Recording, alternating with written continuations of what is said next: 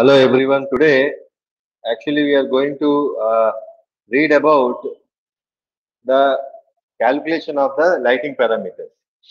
So, in the previous uh, uh, lectures, we have already studied what are the different methods of uh, lighting. Then, uh, then we have studied about the uh, different types of lights. Also, we have studied incandescent CFL LED bulbs.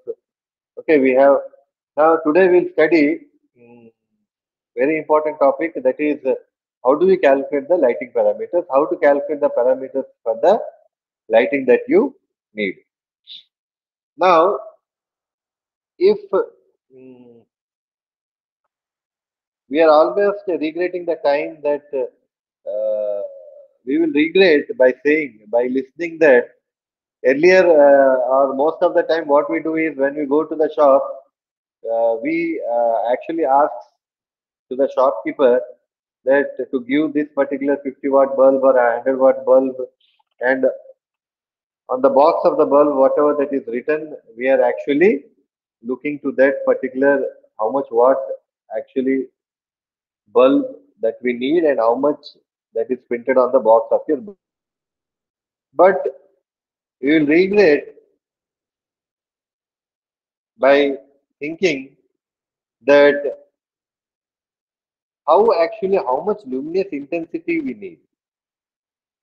Yes, which is much more important and much most important topic where we'll be much more concerned about how much of the luminous intensity we need. Now, that actually explains in this particular topic. It explains the main parameters which are used to describe the characteristics of the modern light. Clear? And in particular, we are going to study how to measure the energy efficiency of the light bulb, then uh, lighting fixtures uh, which we are using, they do also have their own efficiency. Then what are the different technical terms that we are going to use? Uh, then uh, we will be studying, we will be looking at the end a particular uh, online calculator also by where we change for different types of light for incandescent, for halogen, for C CFL bulbs, for LED bulb. Uh, if you change the watt and uh, everything, you will see practically we can gain some practical knowledge also. Then what are the meaning of the different technical terms which you already know most uh, in the previous videos we have already discussed then in modern lights what is lumen what is lux what is candela all these things then luminous power and energy efficiency of the bulb. Actually oh, a light bulb is a kind of energy transformer. It actually uh, consumes electrical power and that consumption uh, of power which this particular bulb is consuming it actually goes to your electricity bill. Okay? And that actually transforms that part of that particular power to light or energy to light. Now that particular transformation which has transformed into light is not perfect perfect. Uh, and a significant proportion of the energy is actually transformed to into heat. Okay. Now most of the technology like incandescent lamps, halogen lamps, then uh, CFL bulbs, LED bulbs, they all do show a different performance. In addition to this, uh, if we take an example of two bulbs which are having same technology, running on same technology, but the output may be different. It totally depends upon the quality of the construction and what type of materials that they are using in order to manufacture those bulbs. So, what is lumen? The amount of light that is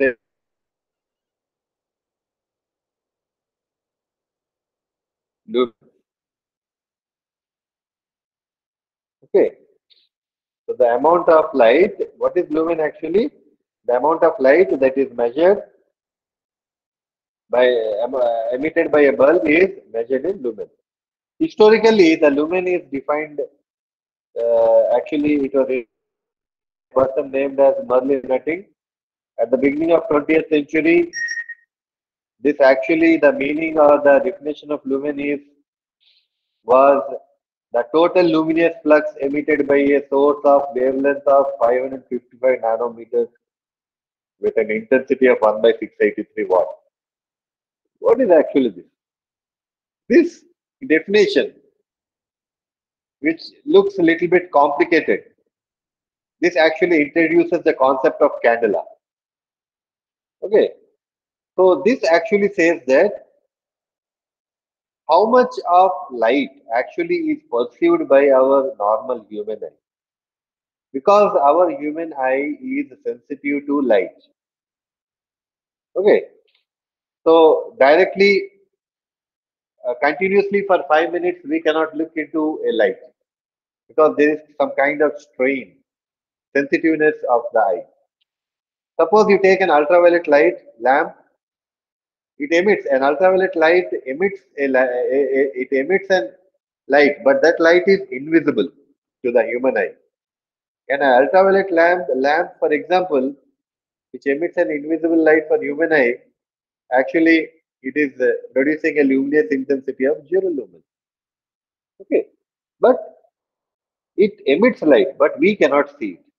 So as we cannot see it we say that it is the intensity is zero and we are measuring and we are saying it is in zero lumen. So at a given wavelength, okay, the color and with same electricity consumed, a bulb with high efficiency is going to emit more intensity of light, more lumen. Okay, that means a high efficiency light will emit more lumen and a lower efficiency light will emit very less lumen. That is what I am trying to say. That is what he is trying to say in this particular paragraph also. Okay. So here let us see a particular table which shows an electrical power consumed and the quantity of light that is emitted and the what is the light output that is yield means light output we are talking about for, there are some examples of some kind of bulbs. When we talk about an incandescent bulb of 60 watt, okay, so the luminous flux is the quantity of light that is emitted is 710 lumens, and the output, the light output is yield is 12 lumens per watt. Similarly, for 70 watt halogen bulb, the luminous flux is 1200 lumens, the output light is 17 lumens per watt. Similarly, you can see for CFL bulbs, two types of CFL bulbs, 23 watt. You can see for 23 watt CFL bulb, the luminous flux is 1500 lumens and the out, light output is 65 lumens per watt. Similarly, for a higher 30, higher power 35 watt classic uh, CFL bulb, uh, that is a tube we are talking about, the luminous flux is 3400 lumens and the output is 100 lumens per watt. You take a high quality LED bulb of 8.5 watt, the luminous flux is 800 lumens and the output is 94 lumens per watt. So we are talking about this tube, that CFL tube, that is we are talking about neon tube, which basically and massively they are used in industrial and office office buildings. And these compact fluorescent bulbs, CFL bulbs, okay. Which which are also called as the uh, miniature neon lights. Okay. And where the output is 350 to 60 lumens per watt. And remember they consume one most important advantage is they consume four to five times less current than conventional incandescent bulbs. Okay. So the best led models also have high yields. And they are progressing rapidly as because day to day the technology is changing in such a rapid way. For a long time, LEDs they have a deserved reputation for being a bit weak, but now there are affordable LED bulbs where 1000 to 1500 lumens. Okay, uh, lumens that is luminous flux we are going to find. Okay, and high quality lights. So halogen bulbs offer, they have 18 lumens per watt, that is output which you talk about. And the energy saving is also 20 to 30, 40% as compared to traditional bulbs. So the efficiency of luminaire. When we talk about now the regulators focus is on the energy efficiency of the bulb. So the amount of light that it is produced, it depends upon the efficiency of luminaire itself. So how much amount of light is produced, it depends upon luminaire, efficiency of luminaire. So the efficiency of luminaire depends upon two factors. So what are the two factors? First factor is the electric of the light source. Electrical and optical characteristics of the light source. So first factor. Now, not only that, you understand electrical and optical characteristics of the light source means we are talking about electrical properties as well as optical properties of that particular light uh, from where uh, source of light from where the light is actually coming.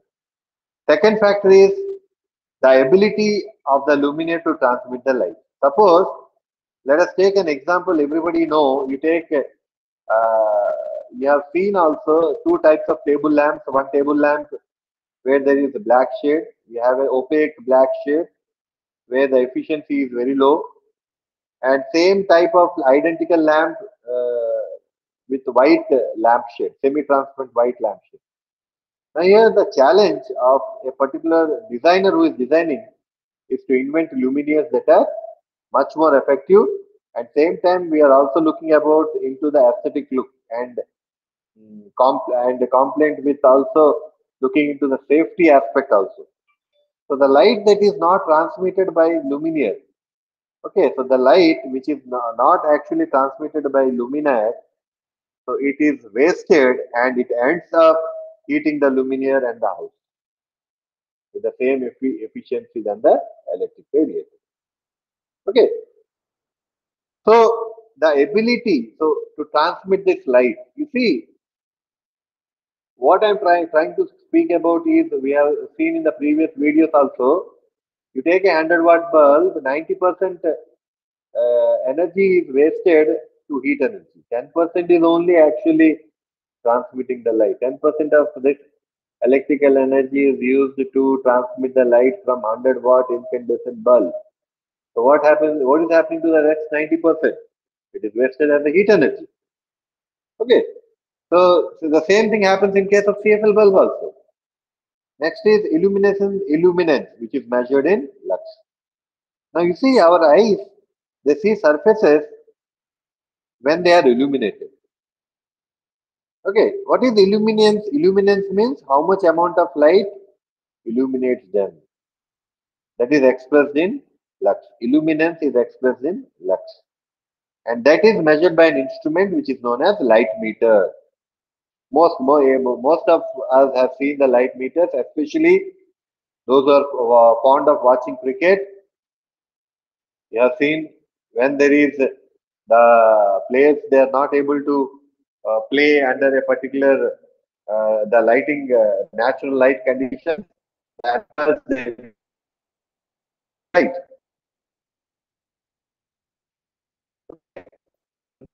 light used by okay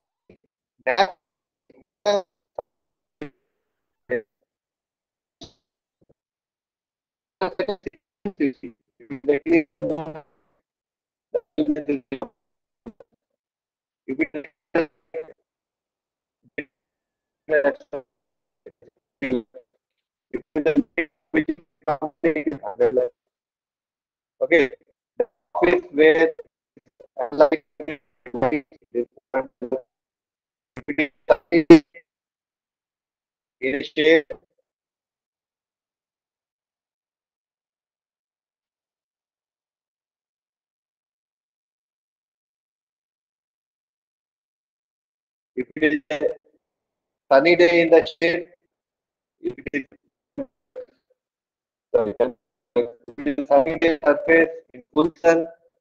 That means natural light is 1 lakh. Okay. And already you know what is the relationship between this particular luminous flux and illuminance, which is measured in lux. So 1 lux is how much? 1 lux is 1 lumen per square meter. 1 lux is 1 lumen per square meter. Let us take an example. You take a room. This the you can see. This is a I think this is a room of 3 meters by 3 meters and the red color circle which you are seeing imagine that it is a bulb and this uh, wire is of 3 meters from ceiling okay. And it is emitting how much lumens? 2000 lumens. Imagine that uh, for example you take that this is a 100 watt halogen bulb and there is no lamp shade around this uh, halogen bulb you are not finding any kind of lamp shade so what is the total area of the room? 54 square meters including ceiling wall floor everything. Then the average illumination is there for how much? 2000 lumen that means 2000 lumen actually so where do we get? So actually this, this much of lumens we need in that particular room. So 2000 by 54 square meters. So by that we will get how much amount of lux we need? 37 lux. Clear? So if you add a shade that reduces the illuminated area to 1 square meter circle on the floor so this particular that square meter 67 lux. So what will happen to the rest of the room? The rest of the room is in dark. It's zero lux. Okay. So similarly, most of the specialists what they do is they do these reverse calculations. So whatever the calculations that we are doing, they do it in reverse. In reverse, so how they do it? They they, they do reverse calculations. They look into the usage objectives, aesthetic requirements, then how much amount of illumination they want, how much lux illumination means, whether they required 40 lux, 50 lux, how much illumination they require in that room. They go in backward direction. Then they multiply by the surface to illuminate. So if you if that lux how much they need, if they multiply with that surface to illuminate, ultimately what what you'll get? You'll get in, or you'll get the surface to be illuminated. Uh, if you multiply with the lux that you need to be maintained in a room or in a office or maybe in an industry, so it will give what? It will give the total light flux expressed in lumens that is necessary. Clear? So this is how in a reverse way they do it. Now luminous intensity which is expressed in candela. Clear? So to measure the luminous intensity produced by a bulb or a spot, clear? So the luminous intensity is measured in candela. That means it corresponds to our Luminous flux of a lumen distributed in one steradian. What is one steradian? One steradian is what? So at least we have studied today that ratio 1 by 683 watts given by Mr. Nutting definition. So that ratio is what? One can one candela ah corresponds to the light intensity of the candle. Clear? So a traditional incandescent lamp emits how much? One candela ah per watt. Yes. Now, suppose you are sitting on a dinner table or a, a dining table, sorry, uh, and if you want to perfectly see what you are eating from the table, the more lux you must receive. So the higher is the luminaire, the larger surface of the table you will be you'll you'll be getting the light. Yeah. So more much of the light should be emitted by the bulb. More should be the candela to illuminate each square centimeter of the clear. So if you want to keep at a particular constant height the light source from the ceiling, the table size should be larger. Are you getting my point? So that you should be very careful. So the best way is I'm going to show you an illumination, illumination calculator. You can see. Suppose there are four types of bulb types here. You can see the screen. Low voltage halogen. Suppose let me take here as 20 watt. The beam angle. Okay, that means the bulb at what angle you are placing it from the roof. Suppose let me take it as 30 degree. Clear? So where you want to install that bulb, suppose the distance is 3 meter from the roof. Or let me change into 2 meter. Just see carefully. When you press this calculate button, this all you can see these all values is going to change. Please see carefully. When you press calculate, it will change. So what should how much diameter of the surface it is going to illuminate? 1.07 meter. What is the surface in square? 0.90 meters square. What is the estimated flux? 480 lumens. What is the intensity? 2242 candela. How much surface it is illuminating? What is the intensity in terms in lux? 532 lux. You just see if I am increasing this 30 watt, what is happening to here? The distance is same. What is happening to the see? It is increasing. It has increased, see. Okay. Similarly for halogen bulb, 230 watt. When you calculate, you see what is happening to the luminaire. Okay. Similarly for a fluorescent compact bulb, similarly for a LED bulb. Here, all you see all are changing. What I'm trying to say is, if it is a fluorescent compact, so with this calculator, you are easily able to calculate what is the illumination, how much illumination you need. So basing on this, the lighting parameters are calculated and the design, the designer, okay, or the interior designer actually, with the help of this, is able to calculate how much lighting should be needed in that particular room depending upon the aesthetic look, how much it should be given, which area should be much more brighter, more glare should be given, where less lighting is needed, more concentration where